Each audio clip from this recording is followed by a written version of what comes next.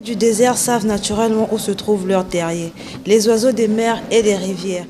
Менавіта так на французскай мове гучыць знаёмая са школы прадмова францыска скарыны да кнігі юдзіф. На сваёй роднай мове яе прачытала Даніэль, ураджэнка Конга, а сёння студэнтка купалаўскага універсітэта. На акцыі чытаем разам яна была не адзіная чужаземка. Прачытаць на розных мовах творы францыскай скарыны ідэя гродзенскай абласной бібліятэкі імя карскага. Пры гэтым асоба была выбрана невыпадкова.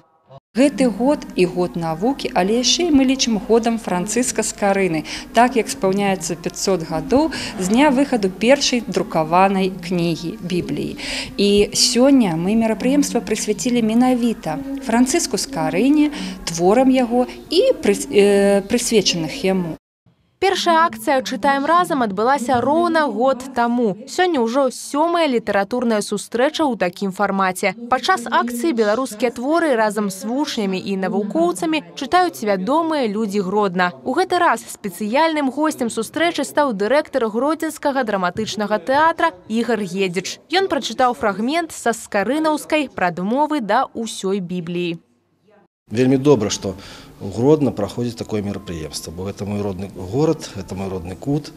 Тым больш, што Гродна мае такую вялікую гістарычную спадчыну і чаму не памятаць аб, скарынін менавіта ў Гродна, ну, гэта было б неправільна. Таму гэта вельмі добра і трэба дзецям расказаць аб тым, што ён зрабіў.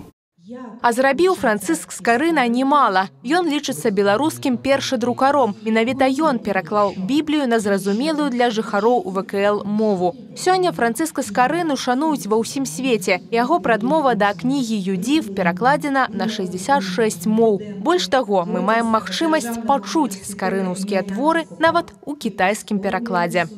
浪迹荒原的野兽，天生熟知自己的洞穴。